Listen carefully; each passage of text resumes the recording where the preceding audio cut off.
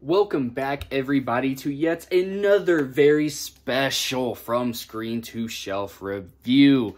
I am your boy, Chase, aka Paul Atreides. I don't know, aka Paul Atreides. I just got done seeing Dune, so fuck it, why not? Today, what we're going to be talking to you about is Fear and Desire, presented miraculously from the Kino Lorber Studios. I don't know why I had to think of that. Literally, the packaging should have said it all. Uh, it threw me off because it says the Library of Congress on the side, which we will dive into here in just a second. So there's some really, really cool stuff on this Fear and Desire uh, presentation that's here. It's kind of monumental and kind of historic with what we've got here, almost on the lines of Metropolis. Um, if you remember, Kino Lorber has quite a bit of history of finding some like relatively lost, unknown footage and stuff like that and completing films. And this is no exception.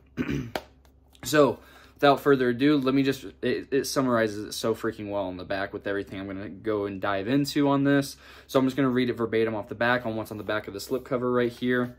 Uh, let me go ahead and give some money shots of that. There's the library Kino. Perfect, perfect.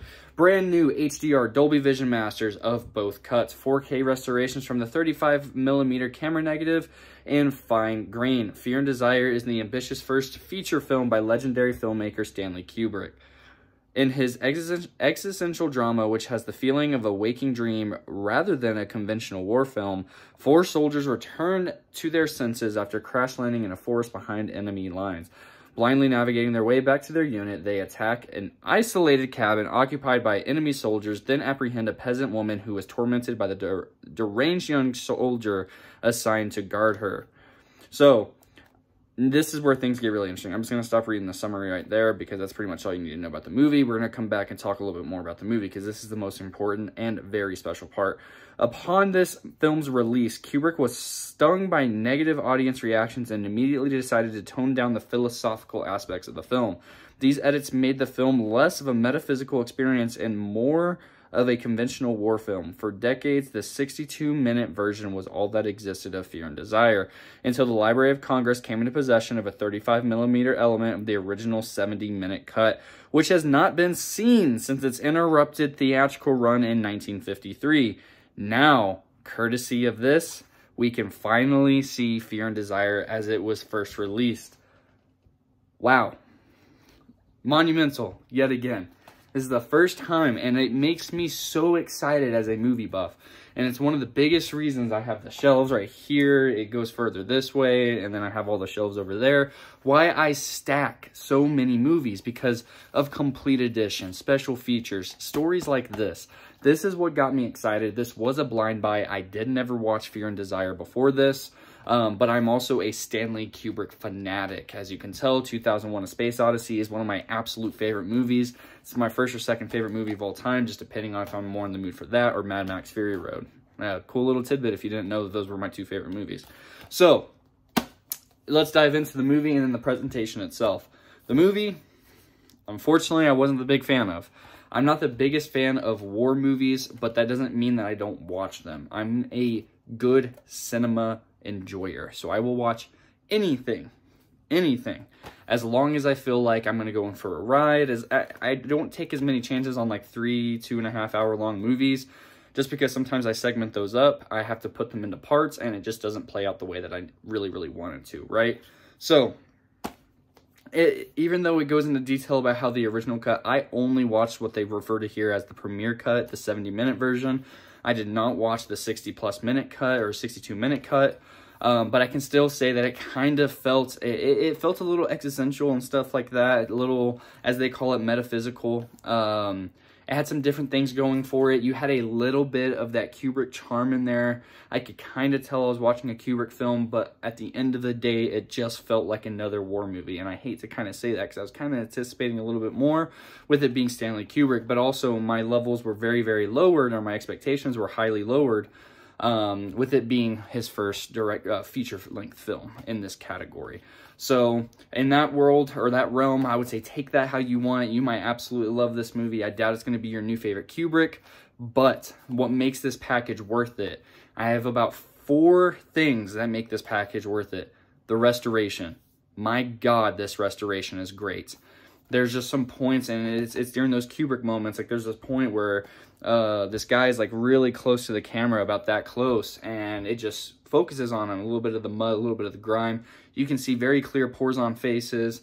Um, the, the shading that's uh, provided from the black and white tones, everything like that is absolutely incredible. It really got me going in all the right areas. I had a great time just absolutely just soaking in how good it looked.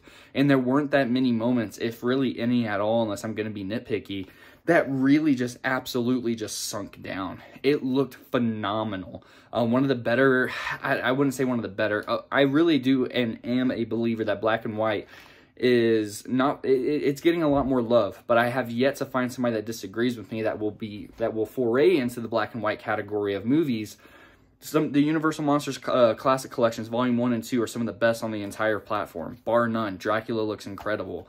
One of the ones that looked the least impressive on there, Invisible Man, still looked incredible. Frankenstein, incredible. Um, I'm trying to think of some other ones. Paths of Glory, incredible. Doctor Strangelove, incredible. Uh, there's just so many good near reference, if not reference quality movies out there that are in black and white, and this is no exception. This is getting added up there. Even though this isn't going to be a, a, a, very average rewatch for me whenever I'm going through a Kubrick, uh, Kubrick kick or anything like that, I'm definitely going to be adding this on there. Um, it ranks probably at the bottom of my Kubrick list, but again, I, I, I just, I, I don't know. Um, like, again, it might grow on me more, but I definitely like Killers, Killer's Kiss. Those were much, much better and up my alley than this movie particularly was. As a movie, a 5 out of 10. Um, which again is not a bad rating. You know, the, the transfer itself, nine and a half out of 10. But the movie itself, just because I give it a five means it's middle of the ground. It's okay. It wasn't bad. It wasn't good. I found it perfectly okay right across the board. It's right down the middle. So now this is what makes it even more impressive. You don't only get that one movie, you get three more short films courtesy of Kino Lorber and courtesy from Stanley Kubrick, the man, the myth, the legend in question. So the other three that you get is you get Flying Padre, a 1951 short film by Stanley Kubrick. It runs, if I remember right, about nine minutes long. It's pretty okay. It, it had some charming moments. Again, you can see some of that Kubrick shine. It's kind of cool. Like this, I, I would call this the Stanley Kubrick evolution package, right? You can see a lot of what made him, what, what he became that this was the springboard, that this was very experimental for him. He did a lot more, especially on as I go in on these short films, he did it a lot more like small, you know, small scope stuff, as most people tend to do in their early careers. And you can kind of tell how he evolves as time goes on. And that's no exception for the next one we're going to talk about with Day of the Fight, another 1951 short film by Stanley Kubrick. And I do believe that these are fully in 4K as well. Um, I didn't double check before getting on here, but I did uh, turn on my playback info, said 4K, and it was running between 70 to 80 megabytes per second on some of these short films. So they looked great. Day of the Fight was a little bit near and dear. There was some really, really cool stuff in there. It's about following this boxer. Martial arts is a bit of a personal thing for me because I dibble and dabble in martial arts myself. So seeing anything martial arts related, especially when you're following an actual boxer and stuff like that, and just another day, an average Joe, a fighter's life and everything like that, and getting ready for the big spar. So I find it really, really cool. This one was actually probably my favorite thing out of all four films that are featured on this. It's just really cool, and it's only about 12 minutes long. But I found it really, really awesome, really, really nice, and very, very interesting for sure. And then the next one, The Seafarers. Uh, that's another 1953 one, or it's a 1953 one, and it's his first color um, film at that. This one, it, it, was cool. It was made for the Seafarers International Union, if I remember right. It's more of a little ad. Think of those little workplace ads where it's like, do this, do that, join us, come do this, come do that. It's it's really just an advertisement to join the union.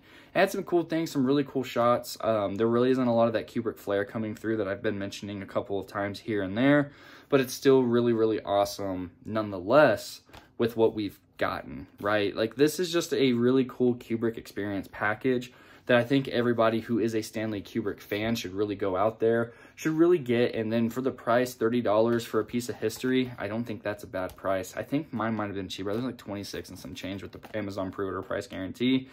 So yeah, definitely add this onto your um, list. Give it a shot. Um, Fear and Desire. And yeah, but courtesy of Kino Lorber and thank you Library of Congress for making this happen as well. And partnering with Kino Lorber. As always, everybody, thank you so much for tuning in to yet another very special episode of From Screen to Shelves Reviews. Stay tuned for more exciting content. Comment, like, subscribe. Let me know how you feel about this. Let me know if you love Fear and Desire. Let me know if maybe you feel differently. As a whole package, I'd give it probably right around a solid yeah, nine. Yeah, nine and a half, really. It's really just a great Kubrick fan package. I can't say enough. Thank you so much again, everybody. Stay safe.